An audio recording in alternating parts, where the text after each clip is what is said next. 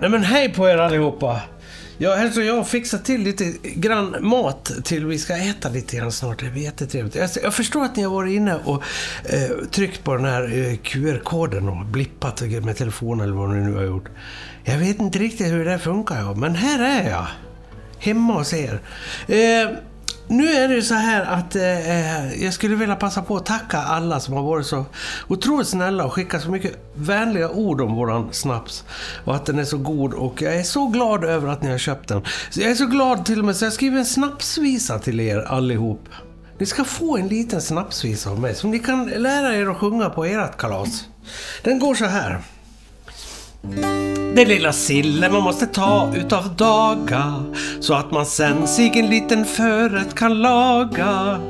I lag med smöret och bröd och brännvin från Orsa så kan du skåla med både farsa och morsa. Skål på er alla hemma där.